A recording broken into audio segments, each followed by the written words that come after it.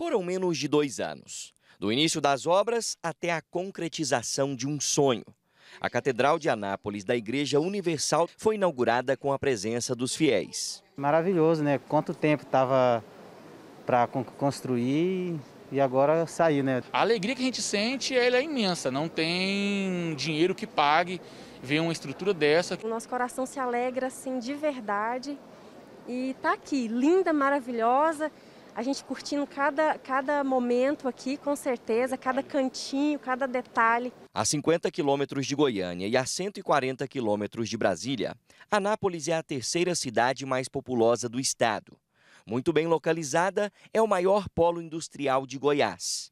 A Catedral da Iurde na cidade é um sonho concretizado. Depois de 18 anos que a população de Anápolis vinha sonhando com um templo próprio, então a inauguração desse templo hoje, bem confortável, para mais de mil pessoas, representa a realização desse sonho e também um descanso. Sabemos que isso aqui é um sonho realizado do povo de fé anapolino, porque aqui será agora uma maternidade espiritual.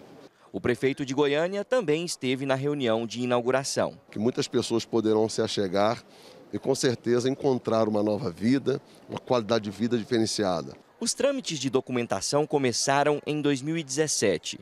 A vereadora Cleide Hilário foi uma das pessoas que ajudaram nesta missão. Trabalhamos ali para conseguir alvará de construção, documentação dos bombeiros, e nós conseguimos finalizar toda a documentação em meados de 2018.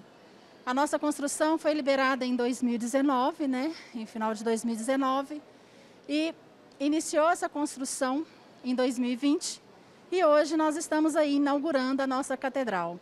A Catedral de Anápolis fica às margens da Avenida Brasil, uma das principais da cidade, entre as ruas Amazílio Lino de Souza e Radial Sul, na Vila Goiás, próxima ao Paço Municipal. O local comporta 1.076 pessoas sentadas. Isso aqui, para todo o povo de Anápolis, é um marco, é a realização de um sonho. Afinal de contas, foram dois anos de espera para chegar até aqui. Isso aqui, para todo o povo anapolino, é um sonho realizado. A reunião de inauguração foi presidida pelo bispo Renato Cardoso. Quando uma palavra foi dada e foi dito: vamos construir a Catedral de Anápolis.